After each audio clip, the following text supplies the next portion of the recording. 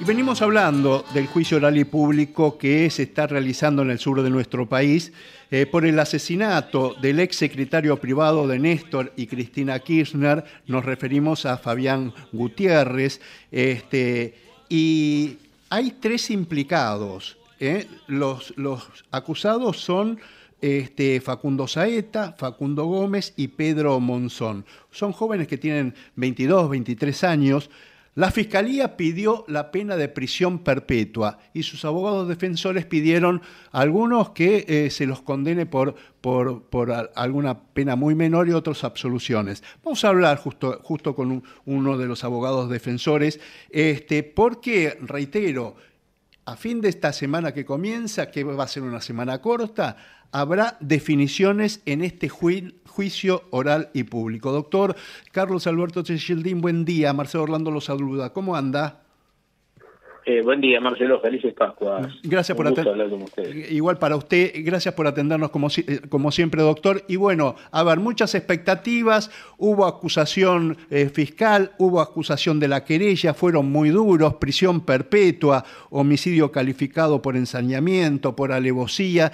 Y, este, y uno de los detenidos que confesó finalmente e imputó a su cliente de, ser el, el, autor material del hecho? Eh, bueno, eh, Marcelo, sí, en el juicio, como siempre decimos, es dinámico, nosotros con la experiencia que tenemos ya de muchísimos juicios, eh, las cosas cambian. Como ser las perillas chocaron, un perito dijo una cosa, el otro dijo otra. Como ser el perito de Río Gallego dijo que el arma mortal fue una venda, después Vigno Torales, otro perito puesto por la querella, no por nosotros, dijo que no es así. Y bueno, empezó a hacer agua por todos lados. El, el que confesó ya tenía seis declaraciones, eh, todas contradictorias, todas mentirosas. Se probaron que todas las declaraciones las hizo como para mejorar su situación procesal. Tal es así que la fueron muy duros tanto la fiscalía, la querella, con él con por el tema de las cantidades de declaraciones que hizo. Seis declaraciones, todas distintas. Ajá. Bueno, tienen prácticamente usted usted sabe, muy... usted sabe como abogado defensor que los los imputados tienen totalmente el derecho a mentir. Sí, pero la corte dice que la, cuando la parte acusadora descubre la mendacidad en la declaración es indicio de culpabilidad. Negarse a declarar no. Y bueno, ese muchacho tiene seis declaraciones, no dos, tiene seis y las seis distintas. Entonces, es un tema como para tomarlo con pinza lo que dijo. Y de repente, bueno, después tenemos el abogado de Gómez, que hizo una defensa de un robo poblado y en banda, pero la acusación era un homicidio calificado del 80, o sea que eh, nosotros contestamos la acusación, las dos, las dos calificantes del 80, que uno era el inciso 2 y el otro es el 7, y fuimos muy claros porque el robo, el, homicidio en ocasión de robo es prácticamente igual igual en la descripción del tipo con el homicidio crimen causa. Tiene sus diferencias en lo que quiso hacer el legislador, separarlo.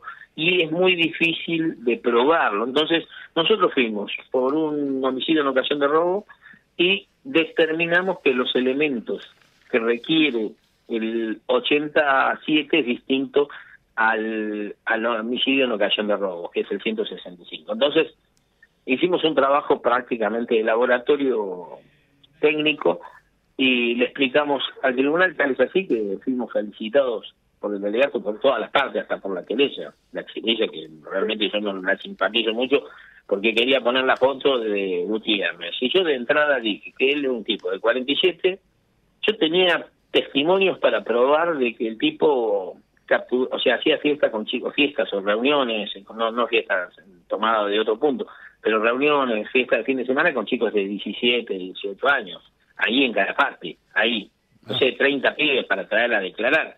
Entonces yo lo que dije fue que era un tipo grande, homosexual, que buscaba chicos jóvenes. Eh, normalmente dicho por los mismos amigos míos que declararon el juicio, dijeron que le explicaban cómo llevarlo despacio, para llevarlo a la cama, eso lo dijo un tal Quirós, que bueno, después la querella dice que era privado, no es privado, es un juicio oral y público.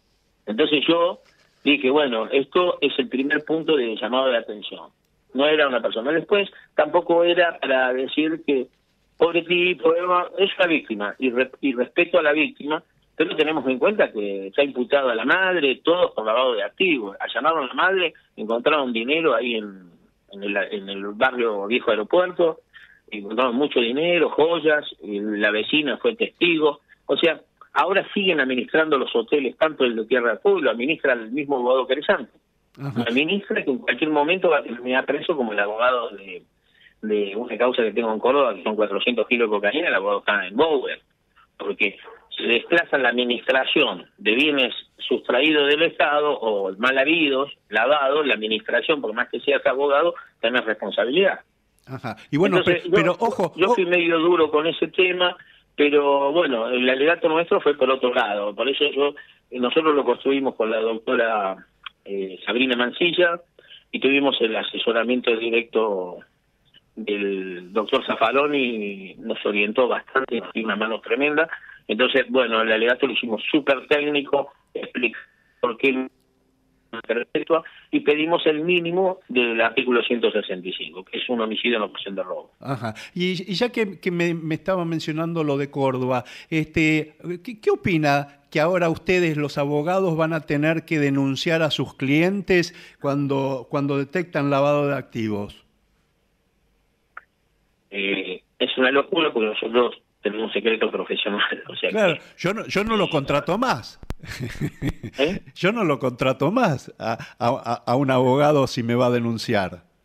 No, es imposible. Son estupideces que salen lo mismo que el decreto de alto perfil. Yo lo tengo a Ramallo, este que, que allanaron ahora 48, le dieron un teléfono engañándolo. Todos estos delitos después lo pagan cuando se va el gobierno. Lo va a pagar Patricia Burris porque hay delitos que se cometen violando una ley. Hay una ley que es la 24660, un decreto del Ministerio de Seguridad de Patricia no está sobre la ley. Y no tiene una ley que modificar. Entonces, el detenido tiene derechos, pocos, pero tiene. Y los hacemos valer. Yo como ser ahora, mm, lo tengo en Ramallo hace, no sé, cuatro años que lo estoy defendiendo en un tribunal oral de Santa Fe, y ahora me llamaron para que lo defienda por estas causas. Y de repente los derechos, por supuesto, se disminuyen cuando estás detenido, pero no es que el Estado puede hacer lo que quiere, porque hay normas, lo puede, puede hacer lo que quiere, todo si la cambia, no tienen, no están, están vigente la ley 2467 y saca una ley de alto perfil, o sea, prácticamente está equiparado el sistema que tienen estos chicos en, en Ezeiza a la tortura. Están equiparados y van a ser después juzgados todas estas personas por el decreto ese por tortura porque está equiparado a la tortura. Eh, doctor, y, volviendo, y volviendo al juicio oral, este, ¿qué opina? ¿Qué le dice su experiencia? ¿Cómo terminará esto este, el viernes que viene, que es el 5 de abril, y que se espera la sentencia? Es muy difícil. Si usted me dice, eh, o sea, la Cámara de Oral de Río Gallego es una Cámara muy seria, son jueces muy serios, la doctora Vila tiene todo el respeto, el doctor Cabral también, el doctor Jensen, eh, nosotros tuvimos varios juicios en Gallego y de repente nunca podemos saber. O sea, ¿cómo le puedo decir? Hicimos todo lo posible. Si usted me dice, eh, pusimos pasión y vida en este juicio. Lo llevo yo hace tres años y ocho meses, me convocó el estudio del doctor Muriete y nosotros estuvimos en todos los actos procesales, por eso lo conocemos al caso totalmente. Entonces, ahora, yo creo que si hay justicia, o sea, van a regular una pena temporal del homicidio en ocasión de robo, que fue lo que pasó.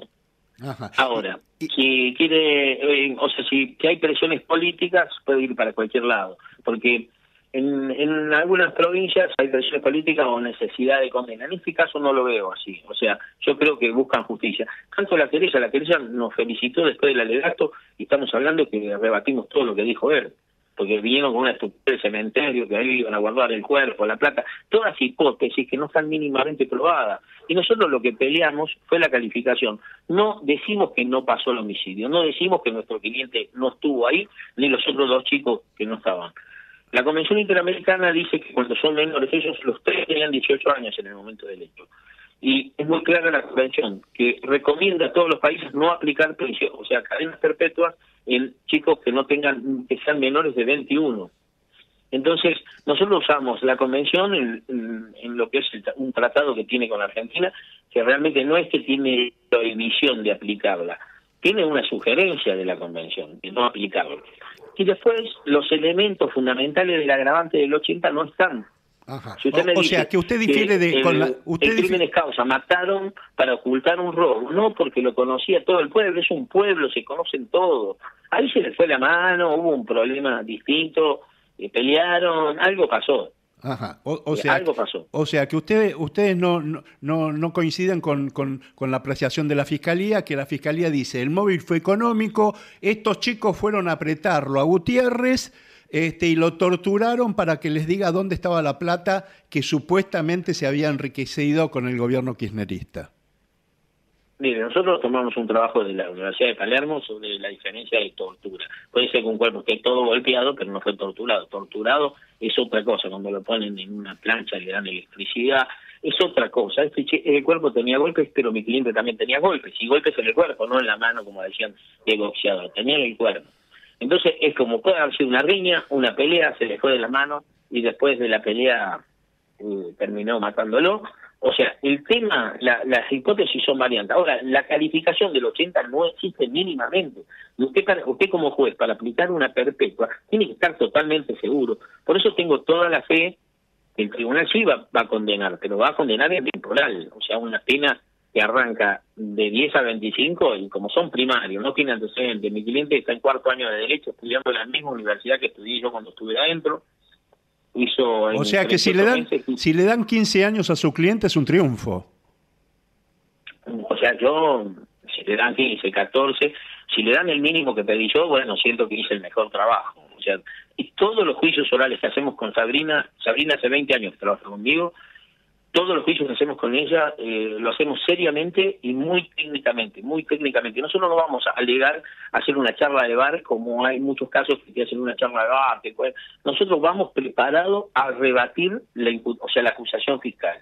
Tal es así, nosotros llevamos jurisprudencia nueva de la actual Corte sobre, sobre estos agravantes y la fiscal después que nos felicitó, dijo, tomó nota y dijo, no, no la tenía en cuenta esa jurisprudencia. La doctora Subi le dijo a Sabrina Mancilla. No la tenía en cuenta porque eh, nosotros usamos jurisprudencia actual, nueva, de casos nuevos, y entonces nosotros en, la composición de esta corte explica prácticamente en varios casos qué es la diferencia del homicidio en ocasión de robo con los con el crimen causa, que está muy, es un hilo casi muy parecido, pero es diferente.